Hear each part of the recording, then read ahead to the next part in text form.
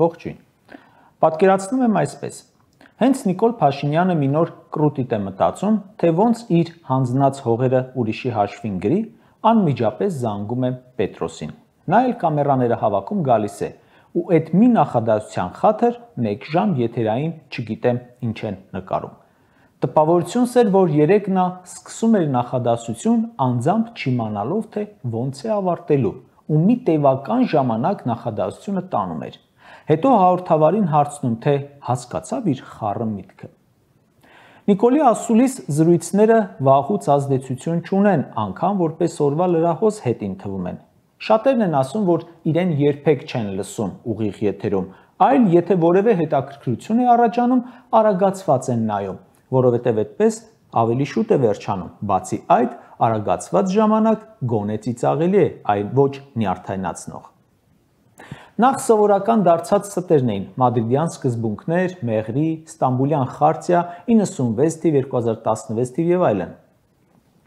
Իմ կարծիքն այն է, որ եթե ինքը չի հոգնում ստելուց, նրան արձագանքելուց էլ պետք է չհոգնեն, որովհետև եթե չարձագանքես, ասես դե մեկա ոչ մի բան ոչ մեկը բանի տեղ չի դնելու, բանը հասնելու է նրան, որ մի քանի տարի անցել հայտարարի նոյեմբերի 9-ի ժամանակ ես ուր էի այդ կապիտուլյացիան Ալիևն ու Պուտինն են ստորագրել։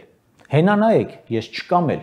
ու հավատացողներ կլինեն։ Մի մոռացեք, որ ժողովրդի հավաքական հիշողությունը շատ կարճ է։ Երբ Փաշինյանն ասում է Ստամբուլյան խարտիայով ճանաչվել է Արցախ-Ադրբեջանի կազմում, պետք է նրան նվիրել Ստամբուլի խարտիայի բնօրինակը, որ կարդա, որ օրինակս դրա Կոսովոն մտնում է Հարավսլավիայի տարածքային ամբողջականության մեջ, Հարավային Օսիան ու Աբխազիան Վրաստանի, Մերզդնեստրը Մոլդովայի։ Իսկ Ղարաբաղի մասին առանձին կետ կա, որ միայն ողջունում է երկխոսությունը ու խաղաղություն կլինի։ Նման հույս հայտնում եւ ուշադրություն։ Մեկ անգամ էլ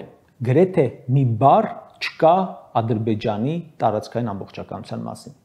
Երբ ասում եմ մադրիդյան սկզբունքներով հարցը կարգավորվում է Ադրբեջանի օկտին, պետք է նրան նվիրել մադրիդյան սկզբունքների մասին փաստաթուղթը, որովհետև ըստ էության նա ճունի դա։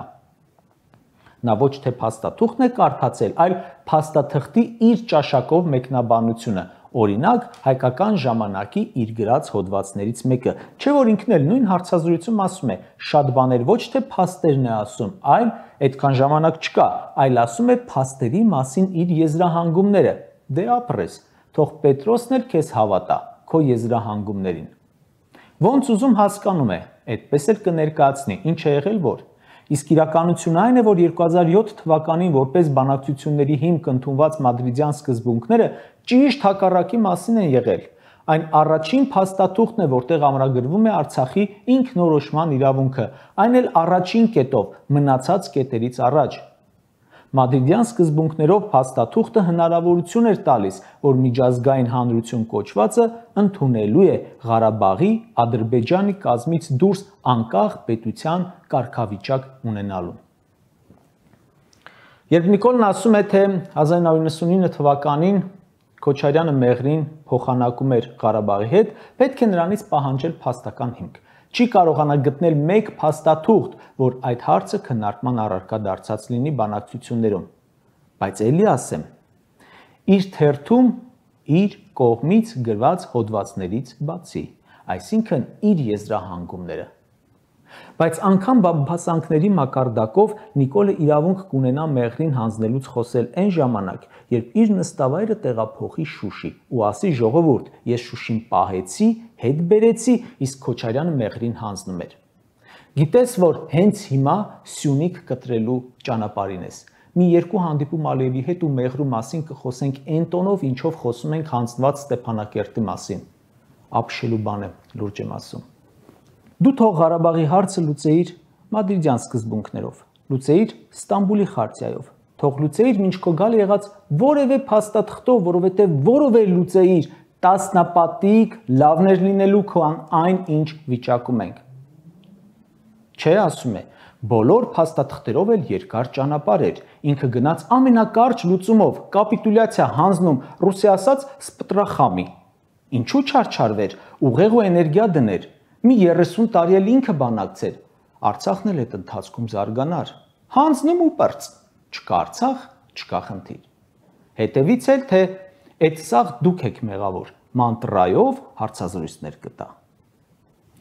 Բայց հիմա հարց ունեմ իրեն։ Տիգրանաշենը որ փաստաթղթով ես հանձնում մադրիդյան սկզբունքների, հայ-վրացական մայրուղին մադրիդյան սկզբունքներով ես հանձնում։ Սև լիճը Ստամբուլի խարտիայով ես զիջել։ Նախկինների ստորագրած որ մի փաստաթղթերով ես տվել Հայաստանից 200 քառակուսի կիլոմետր տարածք։ Այդ 30 տարի նախկինները տալիս էին, Ադրբեջանը չեր վերցնում։ Դու եկար սկսից չտալ Ադրբեջանը վերցրեց։ Այ մարդ, սրա տրամաբանությունը ո՞րն է։ Գիտեք ո՞րն է ուշագրավ։ Ադրբեջանը երբեք այս թեզերը սենց ուղիղ չի ասել։ Նիկոլի թեզերով նախկինում երբեք Ադրբեջանը բանակցության չի գնացել։ Երևի վախեցել է ծաղրի առարկա դառնալ, իսկ Նիկոլը խայտարակվելուց չի վախենում։ Ասում է այն ինչ թշնամին կերազեր, որ ասի մեր երկրի որևէ ղեկավար երբևէ։ Ասում է Հայաստանի կառավարությունը ամեն ինչ արել է, որ չհայաթափվի Արցախը։ Այ մարդ, սուտ ես ասում։ Ամեն ինչ անելը ենթադրում էր, որ պետք է պաշտպանեիր որ ստիպված մահվան սպառնալիքի տակ չգաղթեին։ Իսկ դու ասացիր, վատ բանա տեղի ունենում, բայց մենք կլինենք որպես դիտորդ։ Դրա ամեն ինչ անելը ո՞րն է։ Նիկոլ Փաշինյանը հարցազրույցում երկու հրեշավոր միտք ասաց։ Մեկ այն էր, թե մենք Հայաստանի Հանրապետության ռեսուրսների 70-80%-ը դրել ենք Ղարաբաղի հարցի վրա։ Աշխարհի ցանկացած այլ երկրում Եթե ղեկավարը ասի մենք մեր հայրենիքի վրա իզուր ռեսուրս ենք ծախսել, երևի նրան քարատեն։ Վաղը Նիկոլը կարող է ասել, մենք Գյումրու վրա անիմաստ ռեսուրս ենք դրել։ Պետության, հայրենիքի, հողի որևէ մասը այդ պետության զավակն է։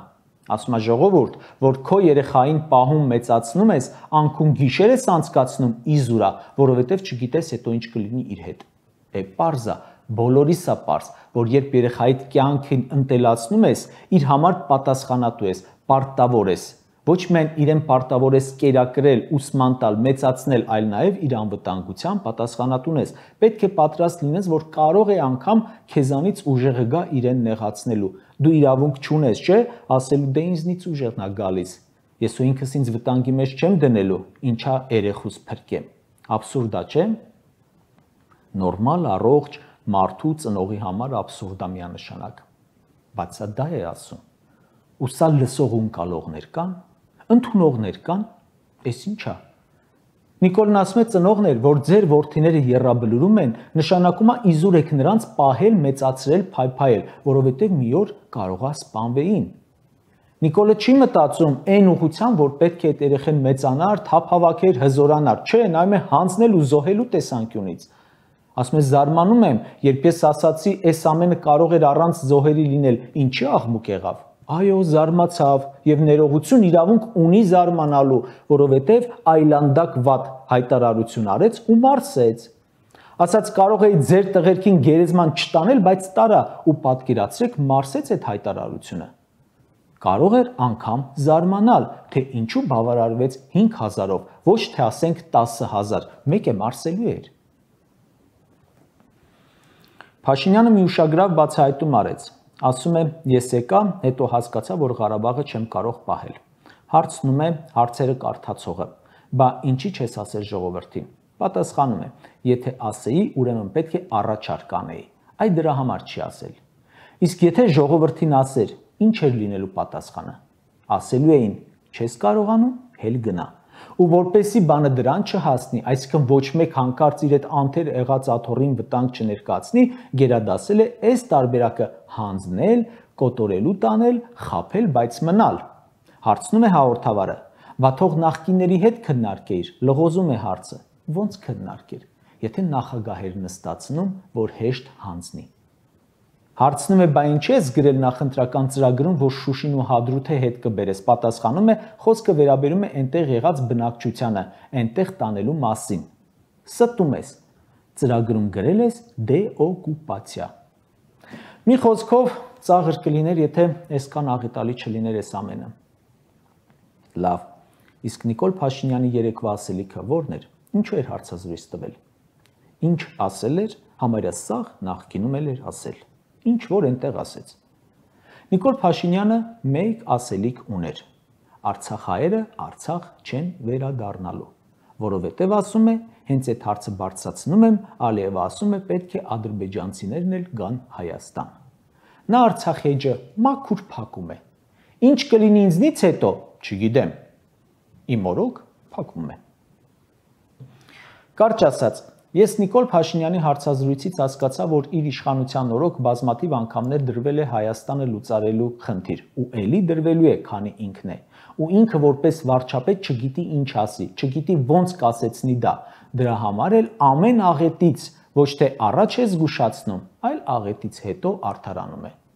Այդ մարդու ելույթները կարծում եմ լուրջ չեն ընդունում, չեն ստանում պատշաճ արձագանք, հանրության մոտ չեն քննարկվում։ Դրանք ուղակի արխիվային նյութեր են, որոնք շուտով վստահ եմ պետք են գալու դատախազությանը նրա նկատմամբ մեղադրանք կազմելիս։